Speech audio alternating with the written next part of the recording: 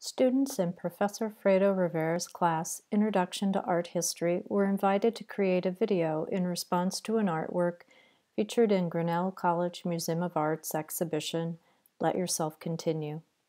Curated by Associate Director Daniel Strong, this exhibition includes more than 50 women artists from the museum's collection and was organized to commemorate the centennial of the 19th Amendment.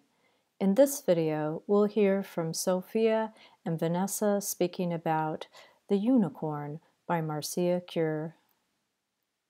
Hello, everyone. This is Sophia Carr, a third year at Grinnell College. And I'm Vanessa Jennings, a second year. Right now, we're looking at The Unicorn, a piece from Marcia Kure's Invasion of the Body Snatchers, the series, that portrays emotions of passion and rage. It is made with kola nut pigment, watercolor, and pencil on watercolor paper and stands roughly at 24 by 28 inches. Kure is a Nigerian artist who was trained at the University of Nigeria. On first glance, this is a very emotive piece, as if the figure at the center is exploding with passionate emotion. It's not a remarkably large piece, but it is so dynamic that it really does capture the viewer's attention. When confronted with this piece, our eyes are first drawn to the dark figure that seems to be carrying a unicorn head. The dark concentration of orange and green color in Invasion of the Body Snatchers gives the surface of the figure an uneasy texture that almost looks like magma in the way that it seems to burn from the inside of the figure.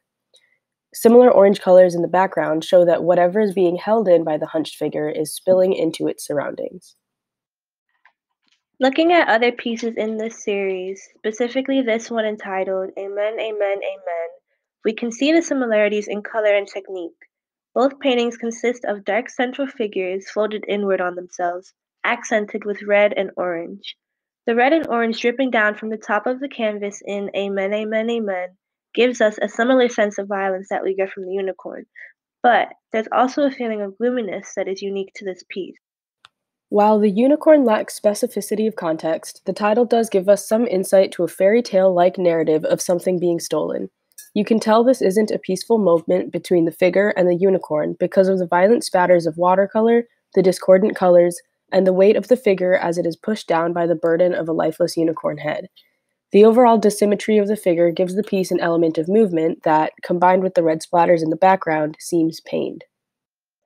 The press release at the Susan Inglett Gallery in 2015 says that Kure's collage series, Invasion of the Body Snatchers, discusses discord head-on, and you can really see this disharmonious narrative in the visual elements of the piece.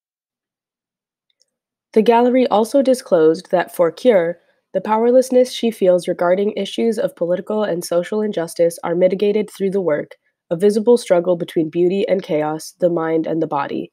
Therefore, although we don't know if this painting was inspired by one particular injustice, we can interpret the violence in Kure's invasion of the body snatchers as a visual representation of mental, physical, and emotional turmoil.